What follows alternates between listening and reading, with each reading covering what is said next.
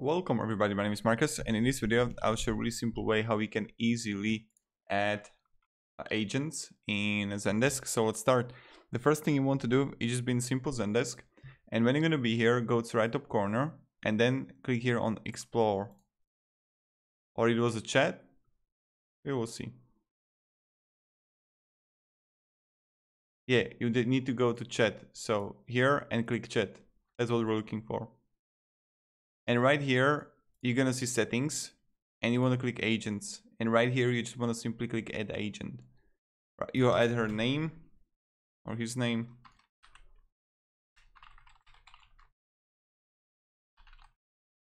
And add and configure. You can also change the role.